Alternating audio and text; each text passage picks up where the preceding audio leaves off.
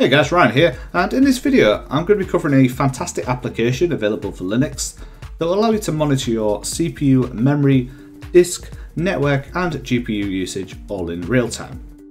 Now the application itself is called Mission Center, and any users of Windows 11 will see a striking resemblance to the Windows Task Manager, which in my opinion is a good thing, because as an end user you're already going to be familiar with the layouts and then you won't have to learn a brand new workflow. Now Mission Center brings in all the information about your system, but rather than using complex individual terminal commands, instead it provides the information in a clear and easy to understand fully GUI tool. Now the application itself is hosted as a Flatpak on FlatHub, which means that it will work on any Linux distributions that support that particular platform. As always when it comes to Flatpak, my recommendation is to follow the setup guide for your distribution. So for example, since I use Endeavour OS, and all I need to do is scroll onto the section here where it says Endeavour OS, and then from here just follow the steps to set everything up. So once Flatpak support is enabled, then all you need to do is click on the big install button on the project page and this will open up the appropriate software store application. So for example, it's usually going to be GNOME software if you use GNOME as your desktop environment, or KDE Discover if you use KDE Plasma.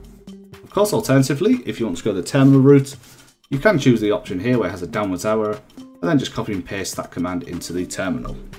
But in either case, once you've installed Mission Center, launch it as you normally would do using your application launcher. As I mentioned earlier, if you're familiar with the Windows Task Manager in Windows 11, then you should be able to easily navigate this application.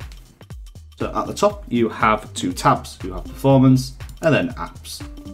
If we start with the Performance tab, from the top you have CPU, memory, disk or multiple disk if you have multiple installed, Ethernet or Wi-Fi if you've got a Wi-Fi card, and then GPU at the bottom.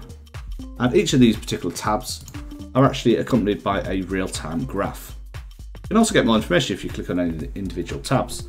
So for example, if you click on the CPU tab, as you can see, it will show you the current clock speed of your GPU, how many processes, threads and handles are currently being handled, I suppose at that point in time, as well as the bottom part here where it says the uptime of your system.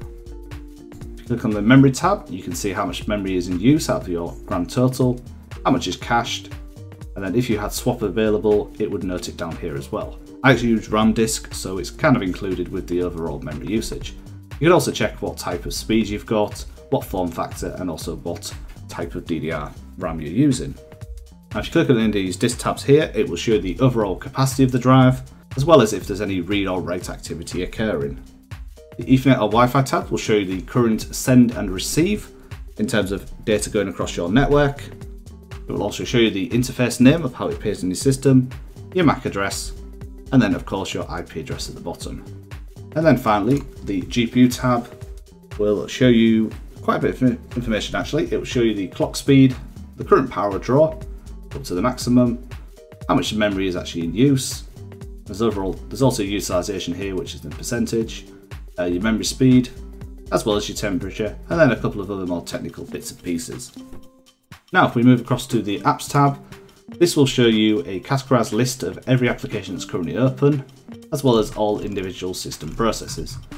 Now, you can also group by PID or process ID, what's using the most CPU usage, most memory, and then also disk use as well. Now you can also choose to either cleanly close an application or kill it outright. And the way you do that is you right click on the entry and then choose the option for either stop application, which is your clean option, or force stop application, which is your kill option. So with that, it covers the Mission Center, a fantastic new tool in your Linux toolbox. So in conclusion, Mission Center is the best system monitoring utility currently available for Linux. It has a modern look, it's fully featured, simple to use, and is also available to install on any system. As always guys, thank you very much for watching this video today, and if you did find it helpful, then please don't forget to leave a like, share the video, and if you like my content and want to support me, then click that subscribe button for more content like this in the future. Thanks again for watching, and I'll catch you next time. Goodbye now.